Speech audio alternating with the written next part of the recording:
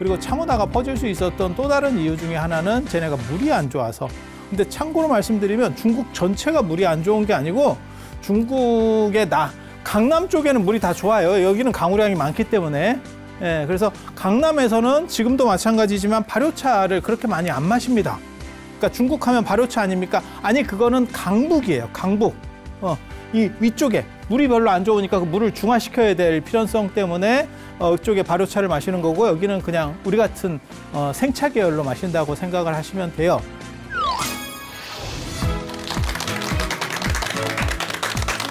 자, 안녕하세요. 당나라 말과 관련해서 가장 중요한 사건 중에 하나라고 할 수 있는 게 사실은 김지장 스님의 구화산 개창을 꼽을 수 있습니다. 그게 예, 중국 불교에서도 대단한 사건이기도 하고 그 다음에 저 이제 지장 스님이라고 하는 분이 이제 한국 분이니까 예, 신라 분이라서 그 부분도 이제 예, 중요한 거기도 하고 그래서 어떻게 보면 어, 신라 분들이 가서 중국에 가서 뜬 분들 중에서 가장 어떻게 보면 최상까지 올라갔다는 게 어, 이제 김지장 스님.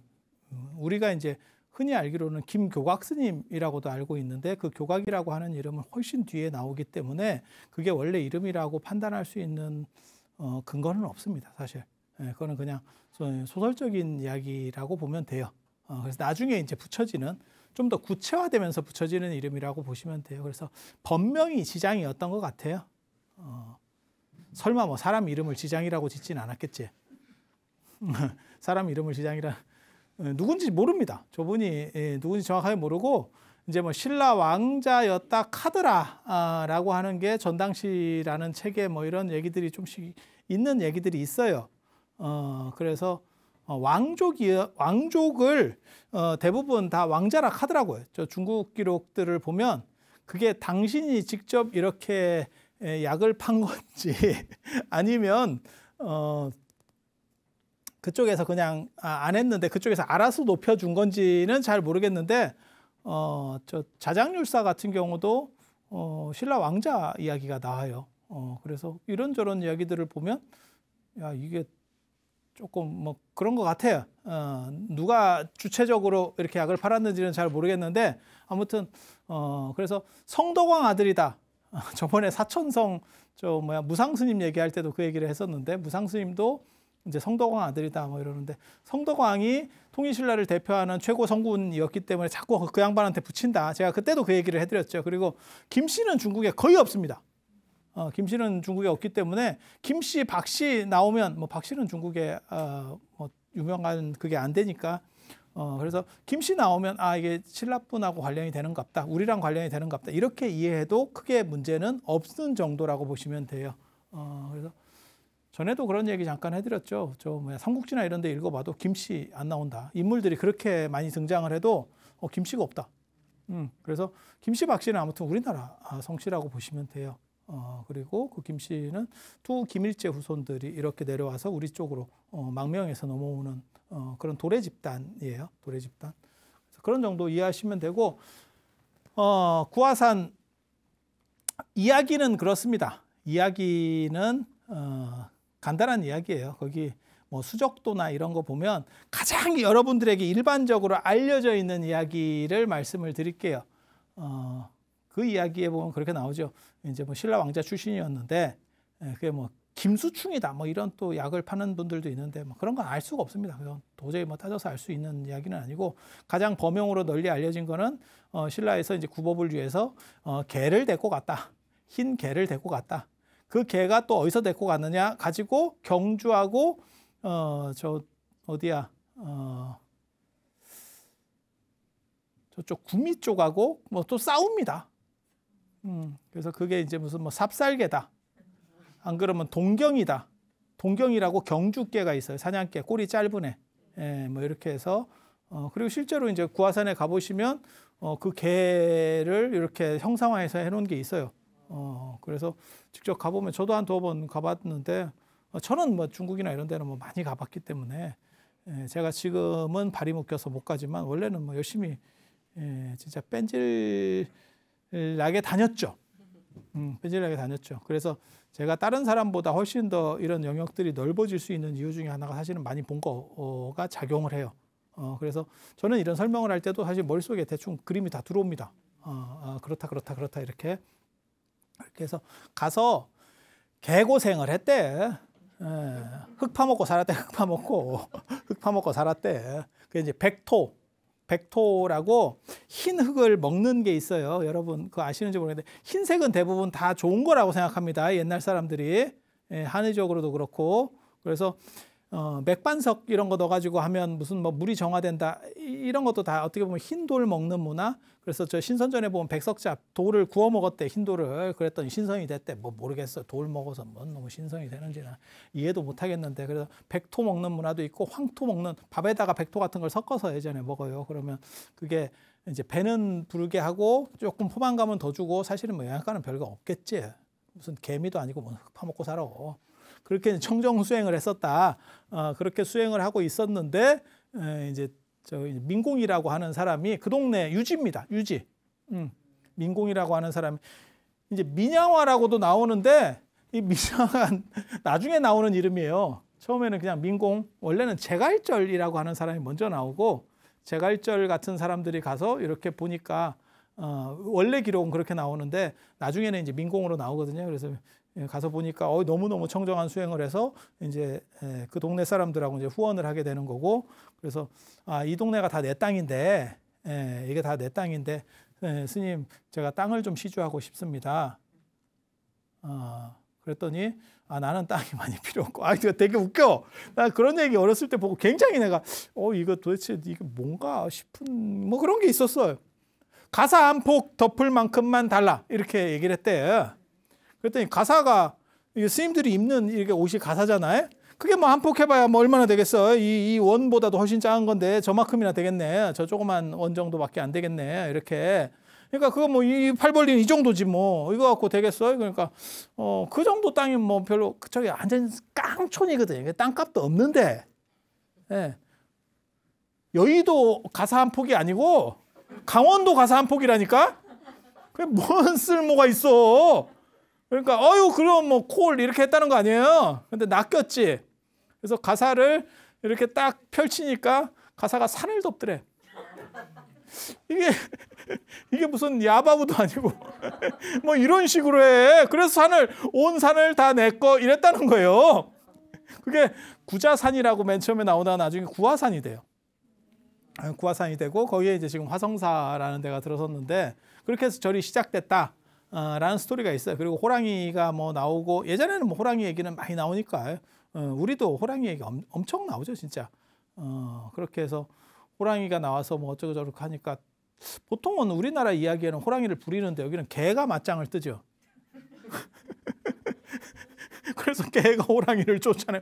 이거 이거 뭔 좀 듣고 있으면 어 조금 야 이거 너무 세게 파는 거 아닌가 싶은 이런 약들이 많은데 어, 그런 식으로 해서 만들어지는 게 이 이제 교각 스님 해가지고 이제 김지장 스님 정확하게 말하는 그리고 지난 시간에 제가 차 얘기를 해드렸지만 이때 이제 에, 지장 스님이 차를 갖고 갔다는 거죠.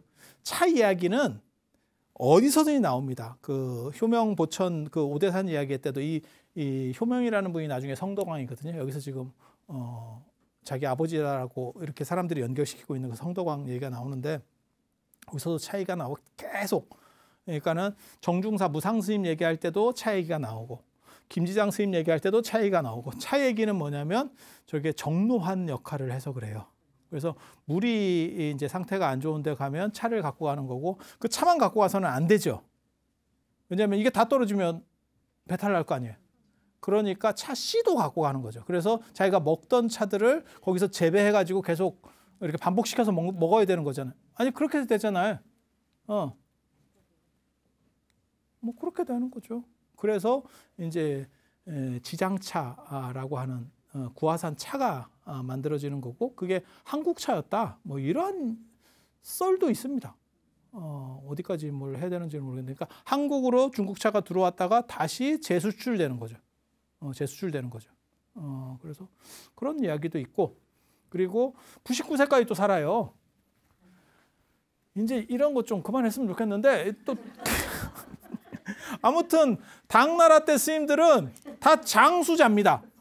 음, 뭐 지금 저런 분들 제가 전에 그런 얘기 들었잖아요. 저 꼭 연금보험 들어야 된다고 저런 분들은 그래야 뭐 엄청나게 예, 받는 거죠. 그래서 지금 저 구화산에 가면 이제 99m짜리 지장 보살 상이 있어요. 아, 진짜 진짜 99m짜리 그렇게 해서 거기서 이제 참배하고 어 엄청나게 크죠, 진짜 한 100m 정도 되는. 나중에 저기 이제 보타라카산 얘기할 때 보면 보타라카산에는 33m짜리 관세음 보살상입니다. 야, 99m하고 33m는 33m도 대단하다고 봤거든요, 예전에. 아, 이건 뭐 비교도 안 돼. 세배 차이잖아요. 왜 관세음 보살은 33m인데 지장 보살은 99m일까? 관세음 보살은 33 응신을 낸다. 그래서 33. 그 다음에 여기에 지장상은 김교각 스님이 김지장 스님이 99세까지 사셨으니까 그걸 기념해서 99m. 이렇게 만들었다는 거예요. 아유, 일찍 돌아가셨으면 큰일 날 뻔했어. 이게 나이에 1cm씩 올라가, 1m씩 올라가는 거예요, 이게. 어, 여러분들도 큰 상 나오겠는데 벌써 지금? 어, 쉽지 않은데? 그래서 그런 식으로 교화하시다가 돌아가셨는데, 돌아가셨는데, 그 부분은 굉장히 좀 미스테리한 거예요. 그리고 그 굉장히 특기할 만한 거예요. 어, 돌아가시니까 그 돌아가시면 열반종이라는 걸 이렇게 치거든요. 열반종. 어, 지금도 칩니다. 큰 스님이 돌아가시면 본사에서 108번을 치도록 돼 있어요. 그때는 이렇게 열반종을 치는데 종소리가 안 났다. 아, 그건 뭐 모르겠고 어, 소리가 안 나더래. 예, 그래서 그거는 뭐, 어, 뭔 소리인지 정확하게 잘 이해를 못 하겠고 근데 돌아가시고 나서 어, 이제 안 썩는 거죠 시체가 어, 시신이 안 썩는 거죠. 어, 그렇게 해서 이런 분들은 대단해요. 예, 일본에도 그렇게 어 이제 시신이 안 썩는 분들이 있고 그 다음에 티베트에도 있고 어 티베트에도 있고 뭐 여러 종류에 많이 있어요. 어 그런데 티베트 같은 경우는 그렇게까지 대단하다는 생각은 안 합니다. 왜냐하면 거기가 건조지대고 산소가 좀 약해요. 그러니까 이게, 이게 희박하다니까. 산소 농도가 약하면 미생물 번식이 쉽지 않습니다. 그리고 춥고 그래서 어 이게 미라화가 잘 될 확률이 큰 지역이 있어요. 그러니까 이집트도 그렇잖아요. 그 이집트의 피라미드 옆에를 파보면 노동자 미라들도 많이 나오는 거예요. 그 사람들이 미라를 만든 게 아니에요. 헤로도토스의 역사에 보면 시체에서 이제 어, 파라오 같은 경우는 시체에서 옆으로 다 꺼내고 그 다음에 입으로 해가지고 이게 뇌 꺼내고 이런 걸 꺼내서 미라로 어, 어떻게 보면 방부 처리를 하는 거고 그렇게 안 하고 그냥 넣어놔도 미라가 된다니까. 수분이 건조되면 어, 황태지. 황태나 노가리 생각하시면 돼요. 아니, 황태는 그래도 내장을 다 제거하니까 노가리 생각하시면 되겠네. 노가리 내장 제거 안 하는 거 아니에요? 그래서 피부가 먼저 건조돼서 이게 저 뭐야 어, 산소 공급을 차단시켜 버리면 딱 차단시켜 버리면 안에서 미생물도 산소가 있어야 되는데 이게 미생물 번식이 용이하지 않은 거예요. 그러다 보면 미라가 되는 겁니다. 그래서 중앙아시아 쪽이나 저 타클라마칸 사막 쪽, 어, 그러니까 실크로드 천산남로, 천산, 천산북로, 뭐 서영남로 이런 쪽이거나 안 그러면 중앙아시아 쪽, 그 다음에 이집트 쪽은 저 페루도 마찬가지예요. 그런데 다 건조 지역입니다. 건조하고 어, 고온이고 이런 데는 저절로 미라가 돼요. 그러니까 그거를 그렇게까지 희한하게 볼 수는 없어. 그래서 이집트에서는 무슨 얘기가 나오냐면 부활하려고 이제 땅 파다 보면 그런 게 나오면 부활하려고 있는 것 같다. 그래서 부활 문화가 있는 거고 그게 나중에 어 이스라엘 유대인들이 이집트에 노예 생활하잖아요. 그게 애굽에서의 노예 생활할 때 그걸 이제 해가지고 부활 사상이 어떻고 어쩌고 약을 파는 거고 어 이제 그런 문화가 있고 그 다음에 중앙아시아나 저 실코드 쪽에는 불사조 다시 재생한다라고 하는 그러니까 다 그런 문화들이 있는 데가 특징이 이렇게 파다 보면 시체들이 나오는데 예. 그걸 옛날 사람들은 무슨 생각했냐면 저게 죽었다가 아니고 언젠가 깨어나려고 기다리고 있는 건가? 이렇게 생각을 하는 거예요. 어, 그리고 일본 같은 경우도 저런 식의 어떻게 보면 등신불, 그게 꼭 등신불은 아닙니다. 등신, 등신이라고 하는 거는 내 몸 신체 사이즈하고 같은 불상을 얘기하는 거예요. 몸 자체가 안 썩는 걸 등신불이라고 하진 않아요. 어, 그렇게 해서 그러니까는 티베트만 같아도 그게 그렇게까지 대단하다는 생각은 안 하고 상대적으로 얘기하는 거예요. 물론 어 그게 의미가 없다라고 얘기하는 건 아니고 어 그리고 일본 같은 경우는 어 약간 굶습니다. 돌아가실 때쯤 되면 어 노인 양반들이 약간 굶어요. 그래서 이제 몸 안에 있는 음식물들을 좀 빼내고 그 다음에 소금물 같은 걸 좀 많이 먹어서 약간 이렇게 세균들을 죽이고 그렇게 하면 등신불될 확률이 훨씬 더 커진다는 거예요. 이해가 되죠? 만약에 일본에서 정상적인 사람이 어, 그렇게 시신이 안 썩었다 이러면 그건 대단한 겁니다. 왜냐하면 일본은 습기가 많기 때문에 예, 세균 번식이라든가 이런 게 조건 좋거든요. 그래서 지금 구화산이라든지 저 지금 구화산 어, 안 그러면 저 해능 스님 계셨던 어, 그런 쪽 같은 경우는 그 강남이에요. 어, 강남 쪽이거든요. 그러면 거기는 습기가 많은 쪽입니다. 그래서 그런 데서 시신이 안 썩을 정도가 되려면 진짜 수행력으로 눌러야 될 거예요.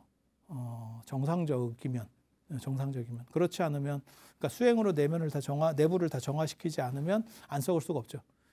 어, 정확하게 말하면 썩는 거는 위에 안에 있는 덜 소화된 음식물에서부터 썩고 그 다음에 눈, 그 다음에 이 뇌 이렇게 약간 어, 수분 많은 데서 썩는다는 거잖아요. 어, 그래서 거기서 국물 나오는 거고 그 국물을 막는 걸 염이라고 하는 거고 어, 아니 그렇, 그렇게 하잖아요. 그 국물도 염이고 그 국물을 막는 것도 염이고 어, 그래서 염하는 거고 그게 구멍 막는 거죠. 안 막으면 무슨 일이 벌어져요? 이게 흘러오는 거죠. 뭐 그냥 생각해봐. 어, 그냥 생각해봐. 어, 그렇게 예, 그렇게 되는 거니까. 그래서 그 저 뭐야 김지장 스님이 거기서 안 썩고 그게 이제 시조가 된 거고. 그리고 그 뒤로도 그런 수행을 해서 그렇게 안 썩는 분들이 있었고 지금은 백세궁이라는 데 가면 무하스님 등신불은 볼 수 있습니다. 무하스님의 이렇게 안 썩은 모습을 볼수 있는데 저 김지장 스님 거는 그 탑 밑에 있어요. 탑 밑에. 그래서 그게 에, 그 상태로 보존이 되고 있는지 아닌지 정확하게 모릅니다. 어, 탑을 세워놓고 그 밑에 땅 속에 넣었다는 거거든요. 근데 그렇게 되면 다 문제들이 좀 있죠. 왜냐하면 아무리 이, 이렇게 안 썩는 능력이 있어도 땅 속에 있으면 습지일 것 같지 않아요? 에, 조건이 보관 조건이 좋은 게 아니죠. 어, 그래서 어떻게 되어 있는지는 잘 모르겠어요. 그래서 천태 지자대사한테도 그런 이야기가 있고, 그 다음 육조 해능 스님 이야기가 있고, 볼, 육조 해능 스님은 직접 볼 수 있는 거고, 천태 지자 스님도 지자탑원 밑에 있다더라. 그 얘기까지밖에 없어요. 어, 그 얘기까지밖에 없고, 그 다음에 이 김지장 스님도 그렇게. 어, 그리고 돌아가시고 나서 시체가 간경증이 안 됐대요. 경직이 안 됐대. 사후 경직이 안 됐대. 이게 사람이 죽고 나면 사후 경직이 되잖아요. 안 죽어봐서 잘 모르실 건데 몸이 굳어요. 어 그래서 그게 에, 염할 때도 잘 이제 너무 오래되고 막 이러면 이렇게 딱 굳어가지고 잘 안 움직인다고 이해가 되시죠? 근데 저 김지장 스님이 이렇게 들면 이렇게 땡겨 온다는 거예요. 그래서 어 그런 분들은 수행이 많이 됐다. 뭐 이렇게 해서 나중에 이 지장이 이름이었기 때문에 이 지장과 지장을 일치시켜서 지장보살의 후신이다. 아, 이게 뭔 소린지 나도 잘 모르겠는데. 야, 그러면 법명을 관음으로 받았으면 관세음보살 후신. 아, 중국 사람들이 좀 웃긴다니까. 나 왜 그렇게 하는지 잘 모르겠어요. 어, 포대화상을 미륵보살이라고 얘기하는 것도 포대화상이 미륵미륵 참미륵 뭐 이래갖고 그냥 개송 하나를 했어. 미륵에 대한 개송을 하나 읊었어. 시를 하나 지었어. 그랬더니 미륵보살의 후신이래. 이게 뭐요? 아 이게 뭐요? 근데 아마 중국 사람들이 그런 이상한 짓을 잘해요. 그러니까 한국 불교하고 중국 불교하고 비슷한 거 아닙니까? 아니 좀 또 달라요. 이게 색깔이 다릅니다. 한국 사람들이 제가 보기에는 훨씬 더 깔끔합니다. 아니 씻는다 깔끔한 게 아니고 이러한 신앙적인 것도 훨씬 더 깔끔해요. 중국 쪽이 훨씬 더 지저분합니다. 이게 좀 복잡합니다. 어, 쟤네는 왜 저런 짓을 하지? 어, 뭐 관세음보살 생일 나 문수보살 생일날 오대산 갔었잖아. 그래서 나 생일빵 해드리려고 그랬는데 어디 가셨더라고. 중국 오대산에 문수보살 생일날 갔잖아. 생일날 나 생일인지 몰랐네. 나 생일이라는 생각 자체를 못했다. 설마 문수보살이 생일이 있을 거다 내 이런 생각 못했거든. 진지게 알았으면 내가 카톡으로 생일 선물 보내줬을 거 아니야. 생일 선물. 아무튼 우리하고는 완전히 달라요. 우리는 상상도 못하는 게 중국에는 있어요. 어, 중국에는 있어. 그 되게 재밌어. 전에도 얘기해줬잖아요. 문수보살 사카탑 있다고 동대에. 김사카처럼 문수보살 쓰고 다니는 사카. 삿갓을 문수보살이 벗어놓은 걸 가지고 거기다 탑을 만들었대. 그래서 문수보살 삿갓탑. 인도뿐인데 사갓을 떴을까? 나 이런 생각 이런 생각이 막 굉장히 들기는 하는데 뭐 그렇다 하는데 뭐 어떻게 사갓은 동아시아 건데 이게 왜 왜? 아니 근데 그것도 가능하죠. 아무리 외국 사람이라도 아니 미국 사람이라도 브래드 피트라도 우리나라에 와서 김치찌개 먹을 수 있는 거지 뭐 그렇게 얘기하면 할 말 없어. 어, 연예가 중교회 나와서 그 얘기 하더만 안녕하세요 사랑해요 한국 사람 뭐 이런 거 하잖아. 그거 똑같은 거지 뭐. 그래서 이 스토리는 전체적으로는 그런 스토리가 되어 있다라고 하는 게 가장 일반적으로 널리 알려진 게 지금 제가 얘기한 기본 스토리예요. 그래서 그건 어, 구어산 구어산 저 김지장 스님과 관련된 수족도라고 하는 걸 바탕으로 해서 그게 최근에 만든 책이에요. 어, 민국 시대 때 이때쯤 만들어진 책인데 그걸 바탕으로 이런 총체적인 스토리가 우리나라에 들어오게 된 거고 그 우리나라에 들어온 거는 제 기억에는 어, 90년대 중후반 때 예, 중후반 때 그때 이제 뭐 어, 여복의 저승 갈 때 뭘 가지고 가지? 뭐 이, 이런 책이 유행하고 그 다음에 그게 나중에 이제 뭐 지장 이런 책들이 유행하면서 이 얘기가 나왔고 어 그리고 어 천년 뒤에 예, 우리 고국에서 뭐 날 찾으러 올 거다 뭐 이런 이야기를 했다 하는데 뭐 정확하게 잘 모르겠고 어 그렇게 해서 어, 찾으러 가야 되는데 또 우리가 그때 계산 못했죠. 몰랐죠 그래서 그 뒤에 뭘 갖다는 뭐 그런 뭐 이야기들이 있어요. 아무튼 뭐 그렇다 치고. 그래서 일반적으로 이렇게 퍼져 있고 지장보살 친부다라니를 하는 문화도 어 90년대 중반쯤에 생긴 그런 문화다라는 정도 이해를 하시면 되고 지금까지 얘기하는 거는 그냥 이렇게 한간에 떠도는 어 가장 민간적인 이야기를 해드린 거고 좀더 어 구체적인 이야기를 해드리면 이런 어 일반 재밌는 약을 팔려고 하는 게 아니고 사실을 얘기해 드리면